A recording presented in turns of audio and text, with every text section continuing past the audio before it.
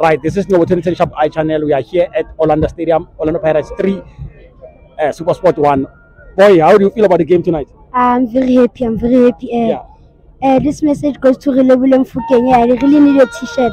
Yeah. I'm playing for Jomo Cosmos under 13. I'm just number 38. Yeah, what is your name? Kiamkhetulo. Okay, Mohit. So you, you, you're looking for what? For, for, for, for the jersey for who? Relebogile Mofokeng. Yeah, yeah. Maybe he, he will hear you. Just just ask him. Just look, Relebogile just look there Mofokeng. and ask him. uh, Can I have your t-shirt, please? Yeah, no, let's hope that he is, is going to have your, your t shirt. So you're playing for Jomo Cosmos. And where do you stay?